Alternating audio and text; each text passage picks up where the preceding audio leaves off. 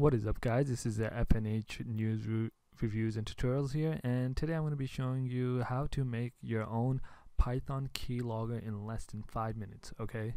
So without wasting any time, let's get straight into it, alright? So basically this is, I'm just going to show you an example of what the keylogger is and um, what you can do with it, what it'll do. I mean obviously it'll be pretty simple since we are making it in less than 5 minutes, but um, it will do it will get the job done. Okay so let me just run this here. Right and you can see it says over here started file. And just to make uh, make sure you guys can see um, I'll put something here. This is a test period and you can see I press backspace over there. Um, I'll show you if that gets recorded or not. Okay test um, let's do enter okay let's see what else should I type. Um, are you recording this? Okay. Alright so now let's close uh, well I'll just leave that stop uh, let's stop the program. Right and you can see over here um, I have it in the file I believe right here log.txt and you can see here key shift right this th and then um, it's a backspace um, is a test key and then I press backspace again and then are you recording this? And obviously I have this shift over here right key shift and then key backspace um, and you can put a space between uh, what is it backspace and is so it'll be like that right? Um i'll show you guys the setup and then obviously you guys can change it the way you want okay? So basically this is the simple um log file okay? So let me close this. Uh don't save. All right let's leave that there okay? And let's open a new file okay? Um youtube key logger okay? Uh, let me just rename that to py. So um, just a little background on this. I am using Python 3.0. Okay, um, if you're using 2.0, this may not work. Um, so I suggest you use 3.0. All right. Um, so that's one thing. The other thing, I'm using Visual Studio Code. You guys can use whatever editor you like, right, or IDE. Uh, that really does not matter. Okay, so all right. First thing we want to do is get um, a library called PyInput right? So it will be from p p y n p u t. And we only want the keyboard um, and we want to import the listener. Okay. So um, if you don't have PyInput installed in your computer you can go to the terminal and then just use pip pip to install um, uh, PyInput. And if you don't know how to install, you can just Google and find out. It's really simple. Okay, so that and let's do let's print out our message first, right? To show that we have started started to log.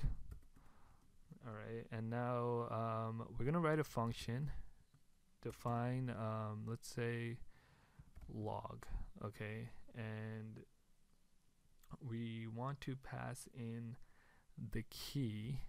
Okay we're gonna pass in a key.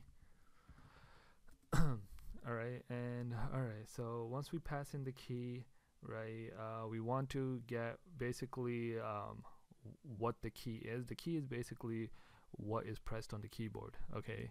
So in this case the character that's pressed on the keyboard we want to change it into a, um, a, str a string, right? And we want to replace um, any quotes that it has, okay?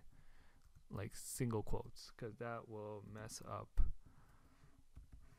our algorithm, okay?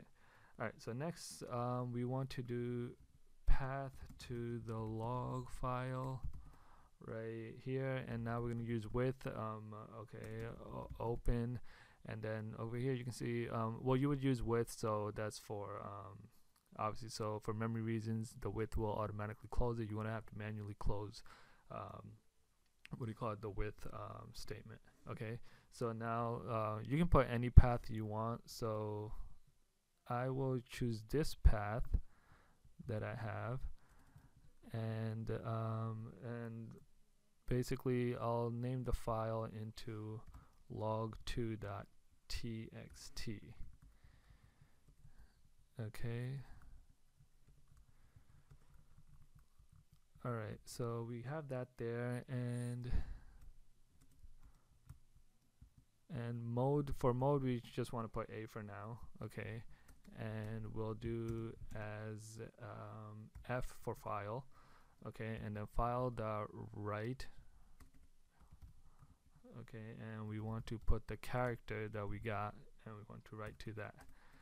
Alright so we have that and now since now we have this and now all we have to do is basically have a listener right? So basically a listener to every time we do a key press we want it to somehow listen to that all right so that is why we got the pi input keyboard listener right? Um, uh, we imported that. So for that that's pretty simple to use with listener right? And then on oops underscore on press equals and then we want the function log and then L for listener as L and then L dot join. So basically when it logs it uh, when when it when it basically listens to an event a key press event right on press right here and then uh, we just log it okay? So and then do l dot join that basically calls it right? And over here you can see we do the character. Uh, so uh, this is basically it. That's all you need to do okay? And you can see that it works perfectly fine right? Uh, this is as simple as you can get and it will work just as good okay? So I ran it. You can see all right started to log okay let's get this file. So that's from the old one all right? And now let's do this. One two three four a b c d. Okay and I put a space. Okay let's stop that and let's look here. We have log2 now uh, so you don't have to have the file um, created. It automatically creates it. As you can see right here one two three four a b c d and then key space. Okay obviously you don't want to put key space every time you press the space. So one trick you can do to make it a lot easier you can just basically do um, a bunch of if statements or um, any other condition right? So key dot space okay if it's key dot space we want the character to e character to equal uh, basically a space okay? And so that's basically the gist of it. There's obviously special um, what do you call it? There's special cases with um, special character like the um, the alt key the control key shift um, so and, and, and th there's also tab and also the left alt key alt key and control key and shift key is different from the right alt control and shift key right? So you got to keep that in mind right? Um, you can write if statements for all of them. And so let's just look at this. I put the if characters key space um, we want to replace that with a empty string empty character okay? So we have that there and let's go to this file okay? So let's do that again. One two three four space a b c d all right? So now we shouldn't see let's close that. We shouldn't see um, key dot space. We should basically see an actual space right here. I should have cleared the file first but you can see 1 2 3 4 space abcd it doesn't say key dot space so you, that's how you can tell it worked. It replaced the key dot space with an actual space.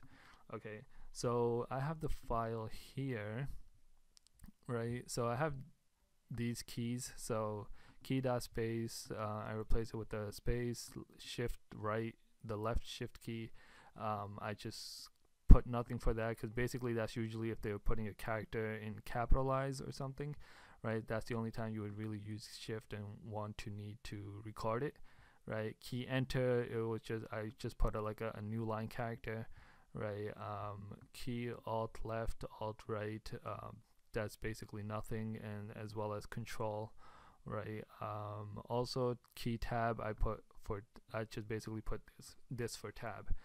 Okay so um obviously you can put your own character you can change it up as well as you like uh, maybe if you want the space to be something else you can put it right here. It's really simple to work with and um, basically it's 32 lines of code and base and even if you don't want the I guess these it's 13 lines of code. It's probably the simplest keylogger you can make um, and, and really quickly okay um, so if you guys have any questions leave them down below. Any comments let me know. If you like this video make sure to like it. Give it a thumbs up. Um, don't forget to subscribe. And also um, this is highly um, changeable. So obviously if you want to make it a bit more advanced you would add it to um, connect to a database and then um, you would log it to the database right? Um, but that's just I guess um, more advanced right? If you would like that obviously that would be the next step which would make sense right? Um, but yeah and i mean not even that is also another approach where you just save it to the file and then at a certain time of day it would automatically email you the file right? So you don't even need a database right? Um, so that's pretty simple also. But yeah um, there's just a bunch of ways different things you can do. Um, so if you guys need any help with that just you know leave it in the below in the comments below and don't forget to subscribe and i'll see you guys next time